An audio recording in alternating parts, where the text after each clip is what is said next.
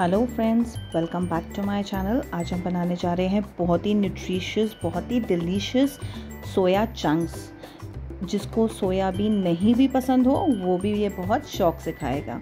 इसको आप स्नैक्स की तरह साइड वेजीज़ की तरह सर्व कर सकते हैं।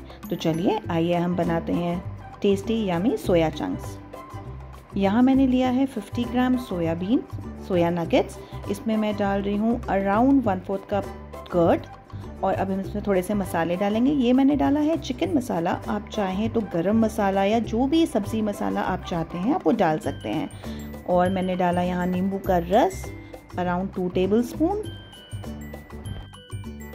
यहाँ मैंने डाला है चाट मसाला और नमक, और मैं डालूँगी इसमें थोड़ा सा हल्दी, लाल मिर्च आप इसमें चाहे वो सारे मसाले डाल सकते हैं, जो कि आपको पसंद है, जिससे आपको लगता है ये थोड़ा टेस्टफुल थोड़ा फ्लेवरफुल हो जाएगा।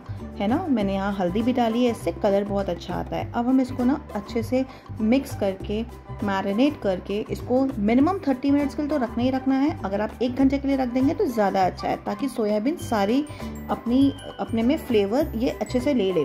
ये देखिए, ये मैरिनेट करके आ गया है और कितना यमी कलर आया है इसका। अब मैंने ना यहाँ पे तवा लिया है, क्योंकि मेरे को एक फ्लैट सरफेस चाहिए, जिसमें ये अच्छे से रोस्ट हो सके। अच्छा मैं ना आपको एक चीज़ बताना भूल गई। जो मैंने 50 ग्राम सोयाबीन लिया था, उसको मैंने ना गर्म पानी में बॉईल कर लिया था।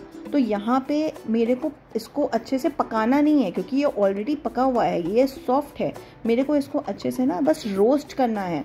जैसे टिक्का टाइप होता है ना, उस तरह से। तो मेरे को एक फ्लैट सरफेस चाहिए था, जिसमें मैं सारे सोया चंक्स को अलग अलग करके इसको रोस्ट कर सकूँ। ये देखिए, यहाँ पे कितने अच्छे से ये रोस्ट हो रहा है ना, कितना प्यारा कलर आ रहा है। अब इसको हम इसी तरह से पहले तेज़ आँच पे, फिर धीमी आँच पे इसको इसी तरह से टॉस करते करते करेंगे। ये देखिए, ये हमारे सोयाबीन नगेट चंक्स बिल्कुल तैयार हैं। है ना टेस्टी एंड यमी लग रहे हैं ना डिलीशियस एंड ट्रस्ट में जो नहीं भी खाता, वो भी खाएगा। आप भी ज़रूर बनाइएगा और मुझे ज़रूर बताइएगा।